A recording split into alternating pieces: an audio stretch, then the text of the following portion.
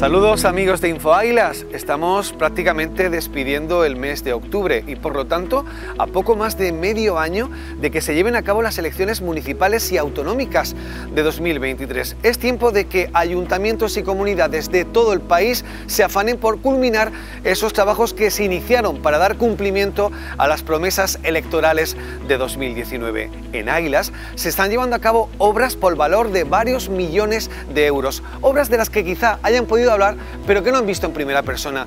Hoy lo van a hacer, además, acompañados de la primera autoridad municipal, Mari Carmen Moreno. A cambio, vamos a hacerla que ya que tanto se habla de carriles bicis, de una ciudad amable con el peatón, se monte en bicicleta. Pero hombre, como contrapunto, le vamos a ofrecer un desayuno gratuito en uno de los entornos más bonitos de Ailas. Eso sí, intentaremos durante ese desayuno que nos cuente algunas cosas personales. Vamos porque nos está esperando.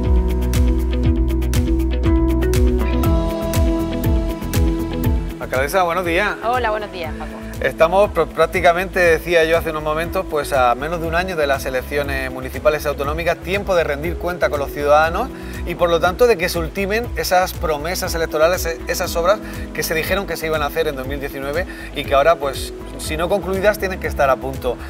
Hay muchas obras por valor de mucho dinero que van a suponer un cambio para la ciudad.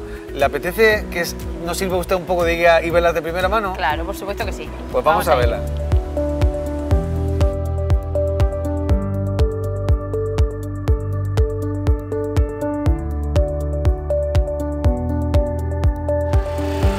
Bueno, alcaldesa, llegamos en la primera visita de las que vamos a realizar hoy a esta obra.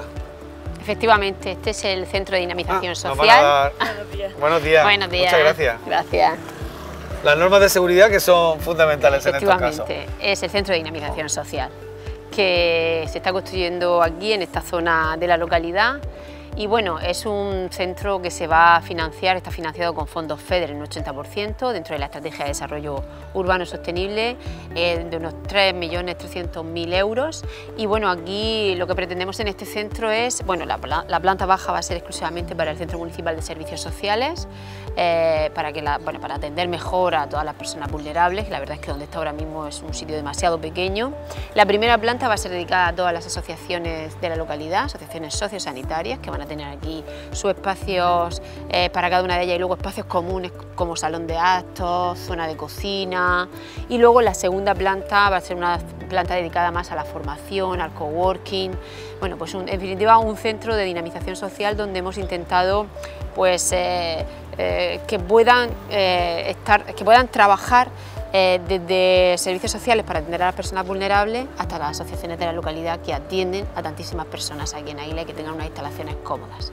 Alcaldesa, ¿qué es eso de la estrategia de desarrollo urbano sostenible que lo he visto no solo en esta infraestructura que estamos visitando ahora, sino en varias y además lo que veo también que es una manera quizá de conseguir dinero que eso es importante porque el municipio por sí solo, el Ayuntamiento de Águila no tendría capacidad para llevar a cabo toda esta infraestructura. Imposible, ¿eh? los ayuntamientos nos financiamos prácticamente de los impuestos municipales, IBI, impuestos de circulación, plusvalía, licencias de obra, poco más.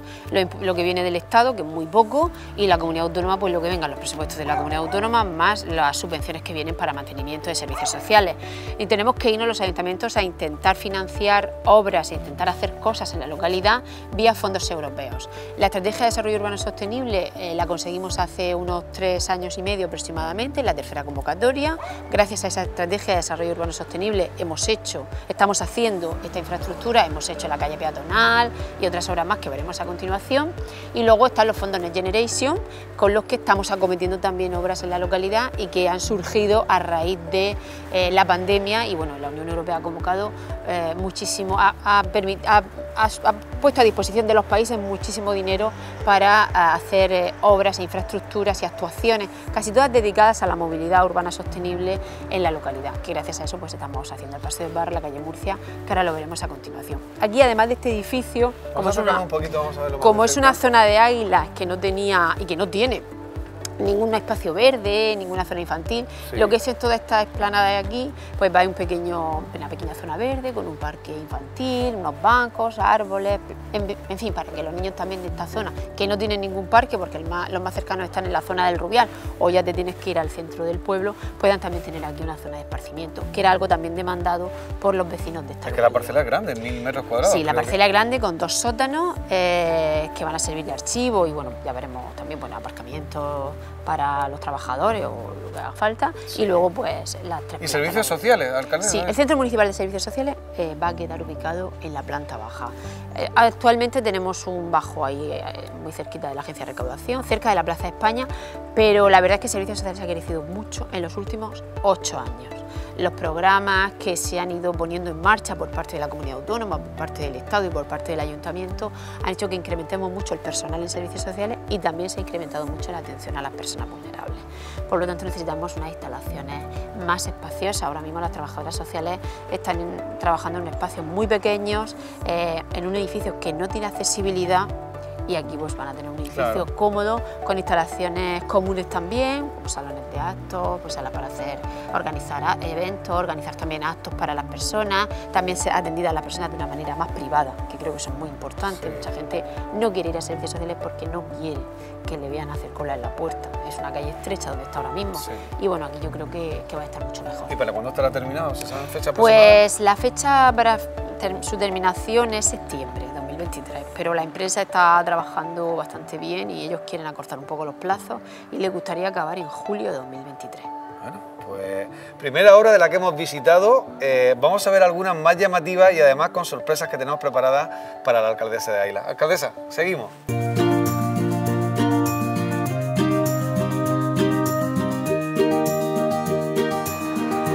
Alcaldesa, nos encontramos en la entrada del municipio, una de las tres que tiene, y una de las grandes demandas de los propios ciudadanos era que queríamos tener pues, una imagen a la hora de recibir al visitante, a los propios aileños, cuando llegan de otro municipio, en condiciones. ¿Lo necesitaba? Pues sí, lo necesitaba. Esta es una de las entradas más importantes de la localidad, junto con la de la carretera de Vera y junto con la de Calabardina, y necesitaba un arreglo, la verdad es que urgente.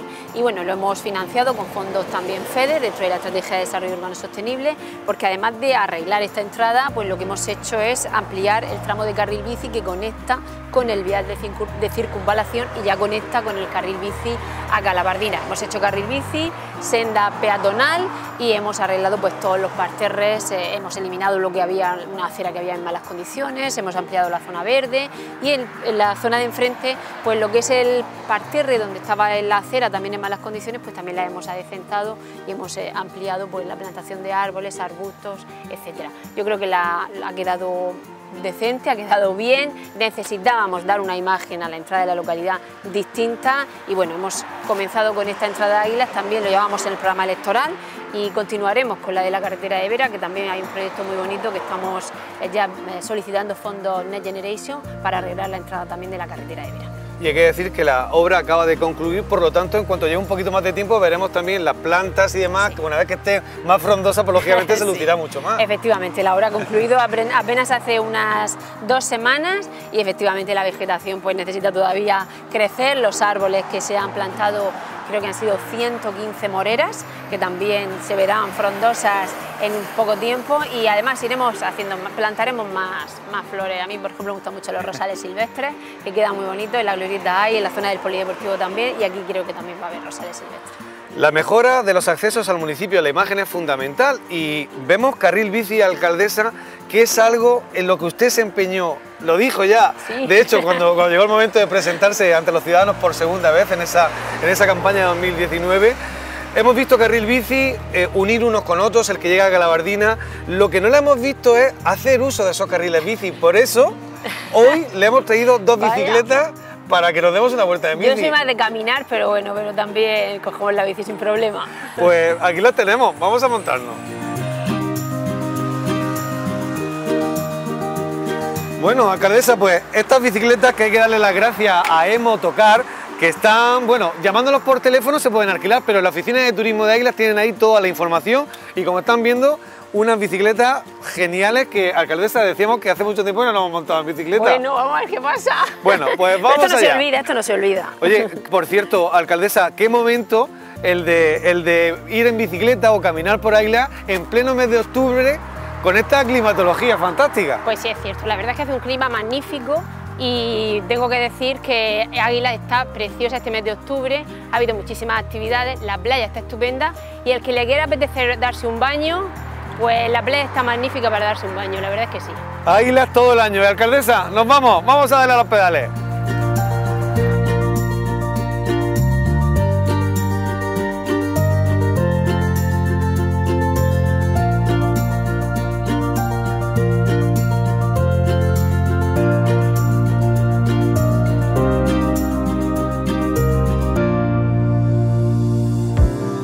Alcaldesa, dicen que las bicicletas son para el verano, pero yo hubiera agradecido un poquito más de fresco eh, Sí. hoy. Es que no es normal, estamos ya prácticamente final de octubre y hace un día espectacular, la verdad es que el paseo en bici es una maravilla. Sí, ¿verdad? Pero un poquito más de fresco no nos hubiera venido mal, no nos hubiera venido mal.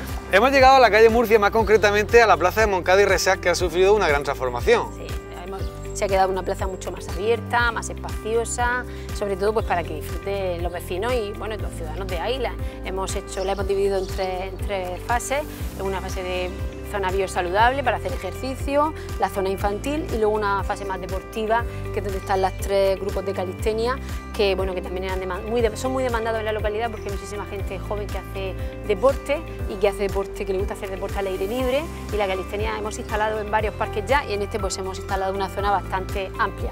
Un parque donde hemos incrementado eh, la zona verde, donde vamos a incrementar más en los parterres la zona de arbolado y de arbustos y bueno, que se ha quedado pues mucho más espacioso para que disfrute la gente. Y hemos visto que ha tenido además muy buena aceptación porque ya ha tenido su, Su estreno. eh, su estreno con una fiesta de barrio. Sí, las fiestas de la plaza, de la zona de la calle Murcia, de la Junta Vecinal de la calle Murcia, las majadas de Cementerio Viejo, organizaron este fin de semana y la verdad es que ha sido todo un éxito, un fin de semana repleto de actividades donde han disfrutado todos los ciudadanos de Águila y los vecinos que han querido venir.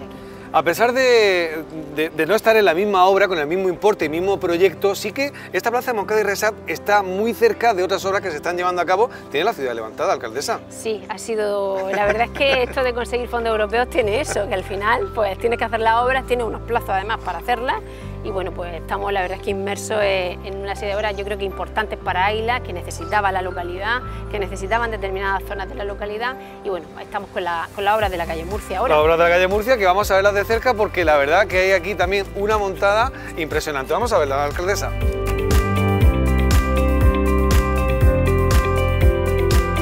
Alcaldesa, una obra esta de la calle Murcia, una arteria que lleva al centro de salud, que hay mucha circulación y que el Ayuntamiento de Águila, que usted como alcaldesa quería hacer sí o sí, porque primero arrancaron con fondos municipales, pero finalmente han conseguido el dinero para poder llevarla a cabo. Sí, efectivamente es una de las entradas también de la localidad, la calle Murcia, y además una calle que necesitaba una transformación integral.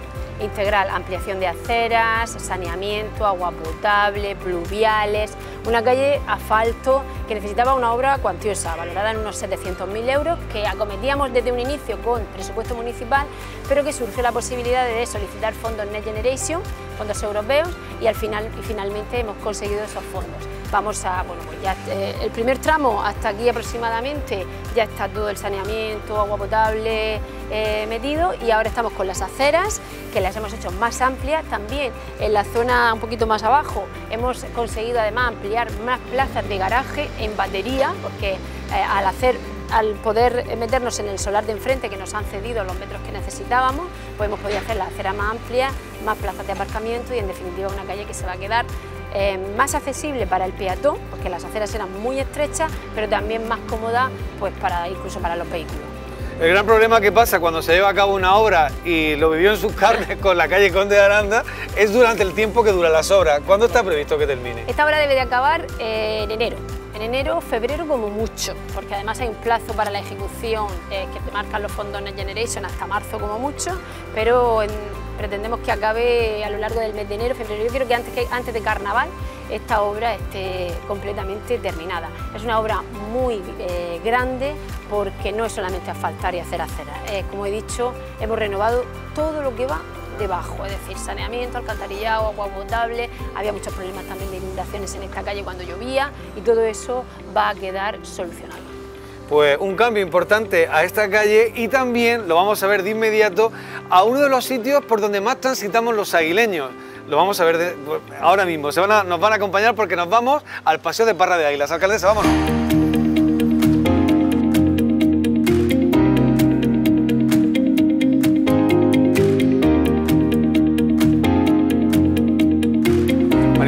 Disfruto viendo cualquier lugar de águilas, pero en cuanto estoy al lado del mar, la cosa mejora muchísimo. La verdad es que sí, tenemos un privilegio y muchas veces no apreciamos lo que tenemos y somos unos privilegiados, porque estar viviendo de cara al mar, frente al mar, es una maravilla. Mucha gente que viene de fuera y que se queda al final a vivir en águilas, incluso por motivos médicos, porque deben de salir de ciudades con una gran contaminación, ir a espacios más abiertos, espacios mirando al mar. Nosotros quizás no lo apreciamos tanto porque lo tenemos y lo hemos tenido desde toda la vida, los que hemos nacido aquí pero a mí me gustaría mucho vivir en un lugar donde no pudiera ver el mar en algún momento del día. Es una maravilla. Pues nos encontramos precisamente en el Paseo de Parra de Águilas, una de las bahías pues, más concurridas de la localidad, donde pasa el carnaval de verano, donde miles de personas, aguileños y visitantes pues disfrutan de este entorno, de esta bahía preciosa que tiene el municipio, donde también se están llevando a cabo, no sé por cuánto tiempo todavía nos queda, unas obras importantes que van a sufrir también, van a hacer que sufra una transformación el paseo.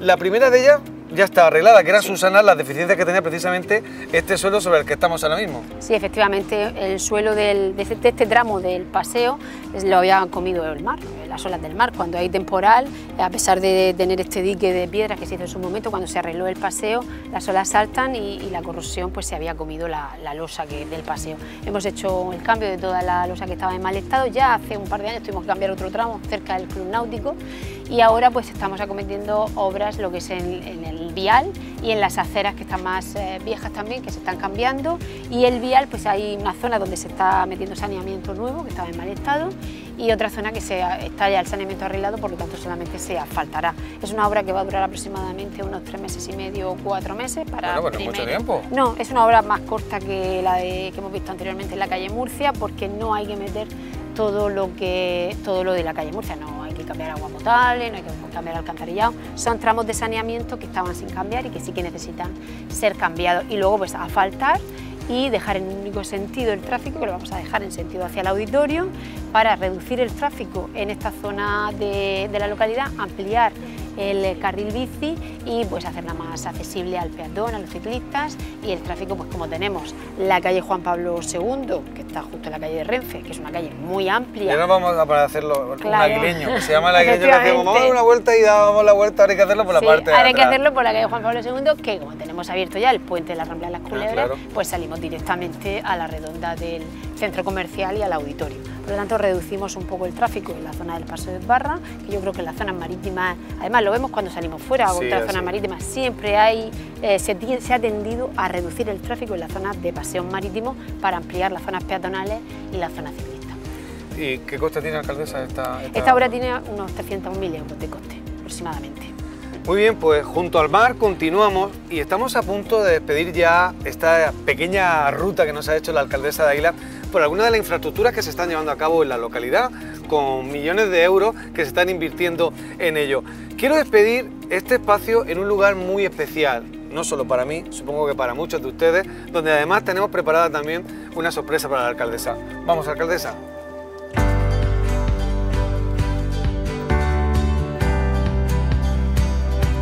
Alcaldesa, le decía que es uno de mis entornos preferidos. Yo no sé si, para usted hay alguno que todavía le tenga algún aprecio más que este, pero desde luego la Bahía de los Niños de Águila es una de nuestras joyas. Es un lugar, yo creo, que el más emblemático de la localidad. El embarcadero del Hornillo, la isla del Fraile, la playa de los Cocedores, yo creo que es una de las zonas más eh, emblemáticas de la localidad, yo diría un icono de la localidad y una de las fotos donde siempre que aparece Águilas aparece esta foto. Y bueno, y aquí estamos con la restauración de esta obra, este, de, esta infraestructura tan importante para los aguileños, que fue tan importante en el pasado y que lo es ahora culturalmente hablando en el presente. Es un BIC, un bien de interés cultural, y necesitaba una restauración inmediata, no solamente porque tenemos que conservar nuestro patrimonio cultural, sino porque además había un peligro de colapso en la obra y no podíamos dejar también que esta infraestructura tan bonita pues se viniera abajo. Y por eso empezamos a trabajar con el 1,5% cultural eh, del Ministerio de Fomento, conseguimos una primera fase, 750.000 euros del Ministerio y 250.000 euros del Ayuntamiento, un millón de euros, y estamos acometiendo pues hasta donde veis una primera fase de restauración de todos los pilares de hierro. Que quiere decir que va a buen ritmo, porque recuerdo cuando vinimos a la primera visita que estaban probando, haciendo las catas que se llaman con un martillito y va bastante avanzado. Sí, es una obra que tiene, bueno, su, problema porque claro, había que ver primero cómo estaba el hierro para ver lo que se podía restaurar y lo, y lo que había que sustituir. Hemos intentado sustituir lo mínimo posible porque lo importante es restaurar lo que ya teníamos. Y bueno, pues están ya eh, incluso están ya con la parte de arriba, con la tarima de madera, porque al final esto lo que pretendemos con el embarcadero es que quede para uso y disfrute de los ciudadanos, es decir, que tú puedas pasear por la tarima de madera de arriba y puedas ir hasta el final.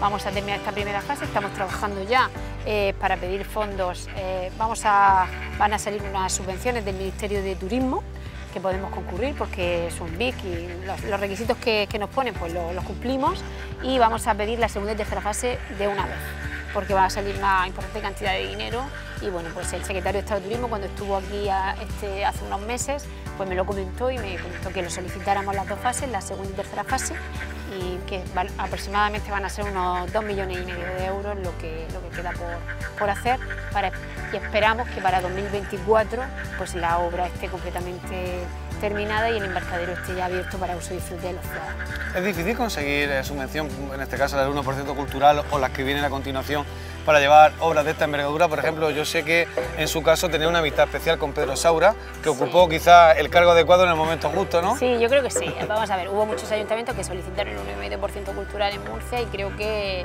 fueron tres las obras seleccionadas. No sé si fue una obra en Yecla o en Cieza, no me acuerdo, la de Águilas, en Murcia y en Monteagudo, el de Monteagudo, que también consiguió los 9%. Hay que cumplir las normas, pero luego... A ver, hay que cumplir las normas, pero luego también, bueno, vienen aquí los técnicos, en ese momento el secretario de Estado vino, conoció esta, esta, esta zona tan importante de Águilas y la verdad es que, bueno, pues hay que agradecer que, que seguro que hizo un esfuerzo, algo haría, un esfuerzo haría para que lo consiguiéramos. Y ahora una vez que ya hemos empezado, lo bueno de esto es que una vez que has empezado, pues los fondos normalmente pues no hay problemas, cumplen los requisitos y tienes que terminar la obra.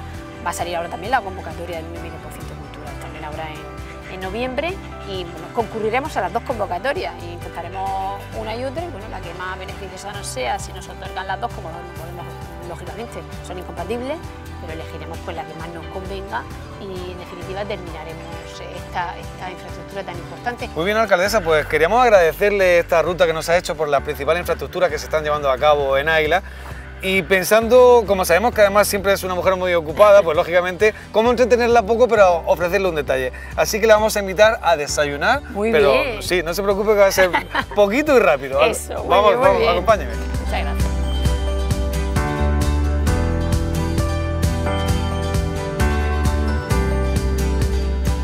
Mari Carmen, no se me ocurría mejor sitio para venir a invitarte a desayunar que este entorno precioso. ¿Verdad Una que vista maravillosa. Además, hoy el día es espectacular. Está el mar perfecto. Está el mar para, para pegarse un baño, aunque además, sea mes de octubre. Los equipos de producción nuestros saben que, bueno, eh, no puedes tomar cualquier tipo de pan porque hace no demasiado tiempo coge el desayuno de arriba, que es el tuyo. Perfecto. No, no, hace demasiado tiempo descubriste que eres celíaca. Sí, efectivamente, soy intolerante al gluten desde hace un año aproximadamente y bueno, ha cambiado mi, mi forma de comer, pero bueno, no pasa nada, acostumbrarse, hay cosas peores. Bueno, pues ábrelo a ver si, que yo creo que te va a gustar.